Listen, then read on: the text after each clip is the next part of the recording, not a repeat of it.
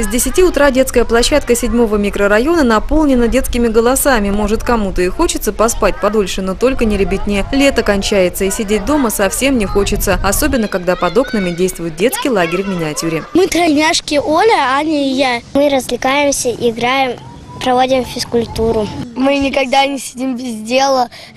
То рисуем, то еще в какую-нибудь игру играем.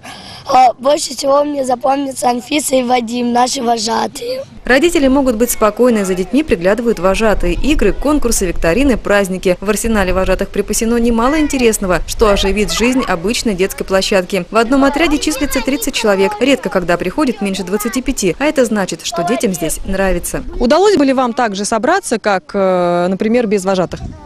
Нет. И Анфиса, и Вадим не понравились. Вадим смешной и Анфиса. Они коты вожатые. Когда я была маленькая, у нас тоже были дворовые отряды, и мы даже выступали с концертами. Например, вот я помню, э, мы матрешки, маленькие крошки э, и так далее. И поэтому мне очень нравится, что дети, вот они под присмотром, и что надо сказать, что воспитатели, волонтеры социального центра молодежи, вот они молодцы.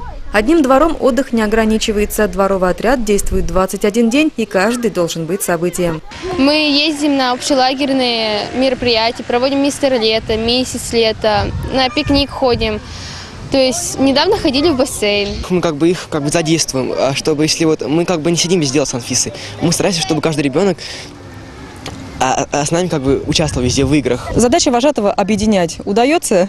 Да, удается сплочать детей, и это очень здорово. Еще четыре дня и дворовые отряды, подарившие трем сотням детей радостный летний месяц, завершат свою работу. Ну а вожатые надеются, что тесная дружба останется между ребятами и после закрытия дворового отряда. Один!